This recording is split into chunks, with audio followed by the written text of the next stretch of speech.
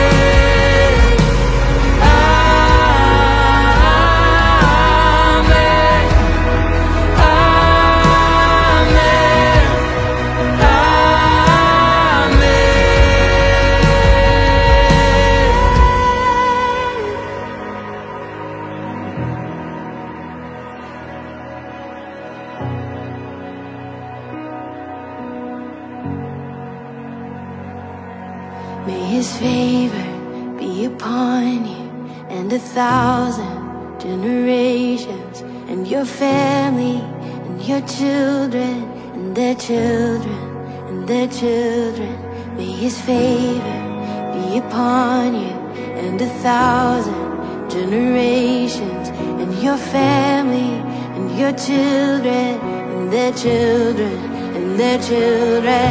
May his favor be a thousand